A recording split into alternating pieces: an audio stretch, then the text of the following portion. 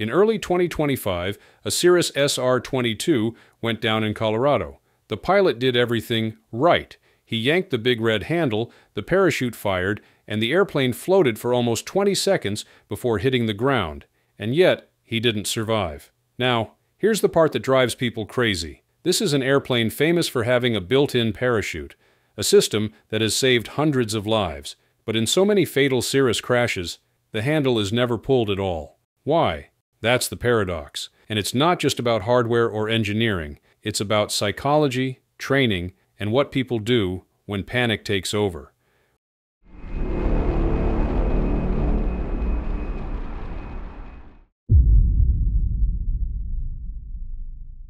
When Cirrus introduced the SR-22, it was marketed as the future of personal aviation. A sleek design, blistering cruise speeds north of 240 miles per hour, and the crown jewel, the Cirrus Airframe Parachute System, or CAPS. The pitch was simple. If things go horribly wrong, you don't need to fight with the airplane. You pull one handle, and the whole aircraft floats down under a giant parachute. To a lot of buyers, it sounded like a cheat code for safety. But here's the reality check. CAPS isn't magic. Like every safety device, it comes with limits. The parachute only works if you're within its operating envelope. A certain altitude, a certain speed, and a certain attitude. Too low? Too late? You're out of luck. Even after an accident, the unarmed rocket inside the system can be a danger to rescuers who have to handle the wreckage. So yes, it's a brilliant system, but it isn't foolproof. And yet, when it's used properly, the record is impressive. As of 2025, CAPS has been credited with 139 saves and 281 people walking away from accidents they almost certainly would not have survived in a conventional airplane. That's incredible. But here's the catch, and it's the one thing that keeps me coming back to this story. The system works, but only if you use it early, decisively, and correctly. And time and time again, pilots don't. Now let's talk about the hard numbers, because this is where the paradox sharpens into something almost painful to look at. A detailed study covering Cirrus accidents from 2001 to 2016 painted a stark picture. When pilots deployed CAPS, there were 57 accidents, and eight of those were fatal. That's tragic, yes, but now look at the flip side. In accidents where CAPS was not deployed, there were 211 crashes, and 82 of them were fatal. That's nearly three times the fatality rate. The message is clear. Pull the handle. Your odds of survival skyrocket. But there are other layers buried in the data. Over time, as the Cirrus fleet grew, the overall accident rate has actually declined. In other words, the airplane itself isn't becoming more dangerous. If anything, it's trending safer. But there's a seasonal twist.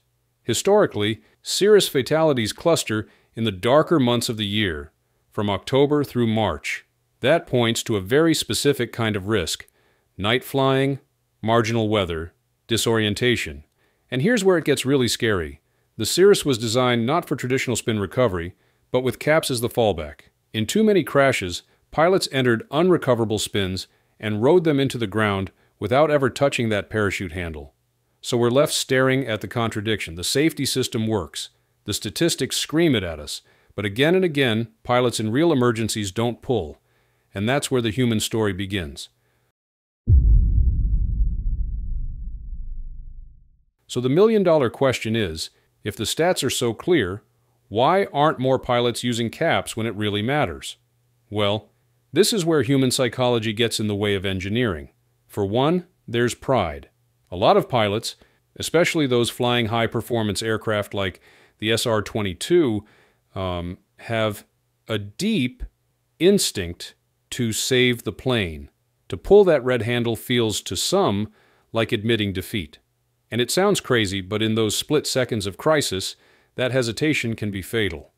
It's not that they don't know the parachute is there, it's that some part of them wants to prove they can handle it without giving up. Then there's overconfidence in technology. The SR-22 isn't some bare-bones trainer, it's loaded to the teeth with dual alternators, de-icing equipment, advanced avionics, and autopilot. All of that can make you feel invincible. Until it doesn't. When something starts going wrong, pilots can fall into the trap of fiddling with the systems, trying to troubleshoot just one more time instead of pulling caps right away. You also have to consider who is flying these airplanes. The typical Cirrus owner might be a successful entrepreneur, a tech executive, or an entertainer. People who can afford a half million dollar airplane, but who may not have thousands of hours in IFR or in high performance aircraft. The missions they fly aren't just local hops on a sunny day either. These are coast to coast trips, at night, in weather, pushing into the exact conditions where emergencies become harder to manage. The NTSB files tell the same story over and over. VFR pilots pressing into IMC and becoming disoriented, nighttime crashes after losing the horizon, pilots drowning in workload inside a glass cockpit when everything goes sideways. It's not that the technology isn't there, it's that the human brain, under stress, has hard limits. A lot of human factors research actually explains this. The shell model points to mismatches between the pilot, the live liveware, and the systems they're operating, whether it's the software of avionics or the hardware of the airplane. The HFACS framework digs deeper. Accidents usually stem from a mix of unsafe acts, organizational issues, and inadequate training. And the Cirrus accident history proves one thing very clearly. The danger isn't a lack of technology. The danger is how humans interact with that technology under stress. Cirrus eventually realized the root of the problem. Pilots weren't pulling the parachute because they hesitated. And in aviation, hesitation kills. Their answer was actually pretty smart. Train caps use into muscle memory. That means from the day you pick up your airplane, you don't just learn where the handle is. You practice pulling it over and over in simulators, in mock scenarios, in training flights, to the point where your body knows the motion before your brain even catches up. The company built an entire framework around this idea initial training at purchase, a refresher at 90 days, and then recurrent training every six months. Not because the hardware changes, but because habits fade. If you don't keep practicing, you won't do it under stress. Cirrus called it the three pillars of CAPS training. First, knowledge and human factors, committing before you ever leave the ground that if something goes wrong, you're willing to pull.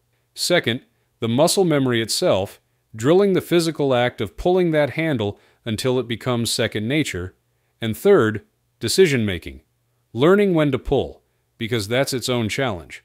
Just like fighter pilots train for when to eject, Cirrus pilots are told if it looks like you're losing control, if the engine fails in bad terrain, if you're out of options, you don't wait, you pull. And there's science behind this. NASA studies on emergency decision making show that when people are under extreme stress, their cognitive bandwidth shrinks to almost nothing. You don't think creatively, you don't weigh options. You fall back on whatever your body has practiced the most. If you've never physically rehearsed that caps pull, chances are you won't do it when it counts.